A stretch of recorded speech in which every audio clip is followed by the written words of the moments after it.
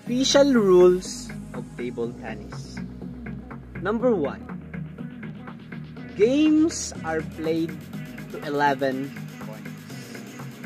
A game is played to 11 points. A game must be won by 2 points. A match is generally the best 3 of 5 games. Number 2. Alternate serves every 2 points. Each side of the table alternates serving 2 points at a time. Exception. After tied 10 to 10 or deuce, service alternates at every point. Can you lose on a serve in ping pong? Yes. There is no separate rule for serving on game point. Number 3. Toss the ball straight up when serving. How do you serve the ball in ping pong? Hold the ball in your open palm behind your end of the table. Toss at least 6 straight up and strike it on the way down. It must hit your side of the table and then the other side. Take note, once the ball leaves the server's hand, it is in play. And so counts as the receiver's point if the ball is missed or mishit. Number 4. The serve can land anywhere in singles. There is no restriction on where the ball lands on your side or your opponent's side of the table. It can bounce two or more times on your opponent's side. If so, that's your point. Bounce over the side or even hit the edge. Number 5.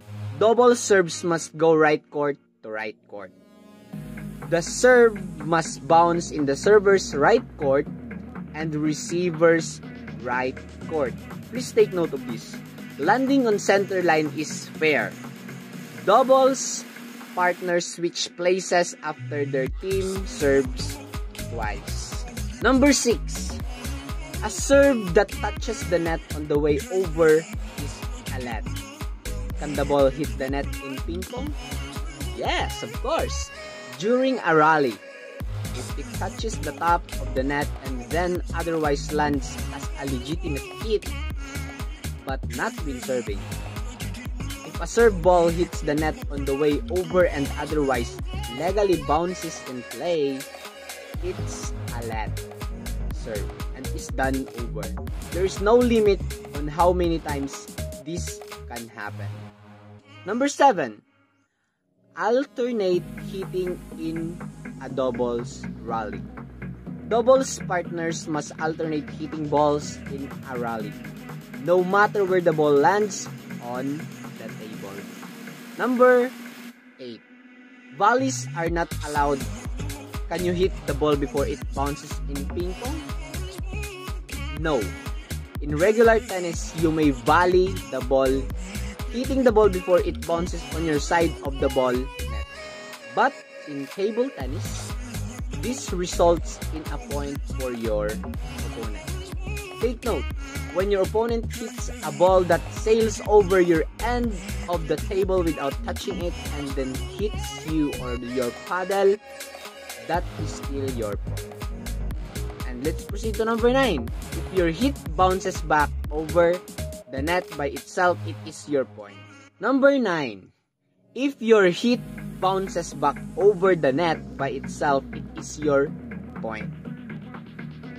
If you hit the ball in a rally or on a serve and it bounces back over the net, after hitting your opponent's side of the table, due to extreme spin without your opponent touching it, that is your point.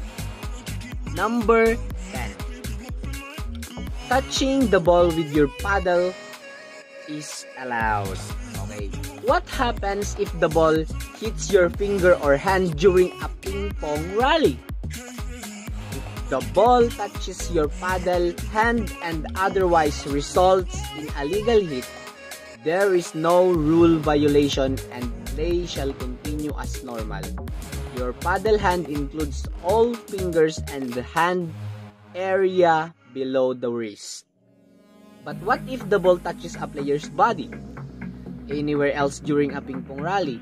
You may not touch the ball with your non-paddle hand for any reason. It will result in a point for your opponent. But if your opponent hit sails over your side of the table without touching it and hits any part of you or your paddle, it is still your point.